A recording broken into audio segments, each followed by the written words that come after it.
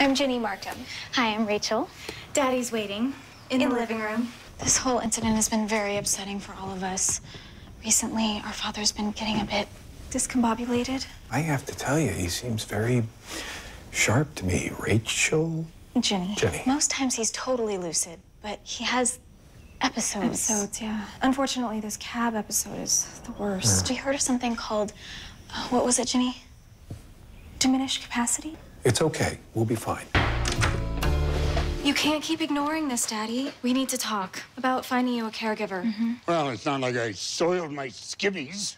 I'd like to see you when you're 85. Can you talk to him, Mr. Deane, please? We may have to change our defense. To what? Diminished capacity? This could all go away, Daddy. I have to go work on my memoirs. Maybe when you're thinking more clearly? Nope, nope, nope. There, are no memoirs.